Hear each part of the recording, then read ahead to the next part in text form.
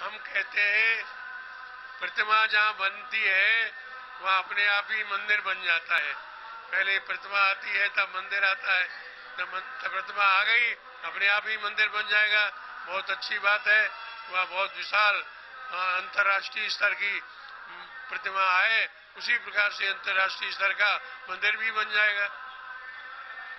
कब तक उम्मीद करें हिंदू जनमानस बहस अब ज़्यादा देर नहीं है। अब शीघ्र शीघ्र मोदी जी के काल में मंदिर का निर्माण प्रारंभ हो जाएगा।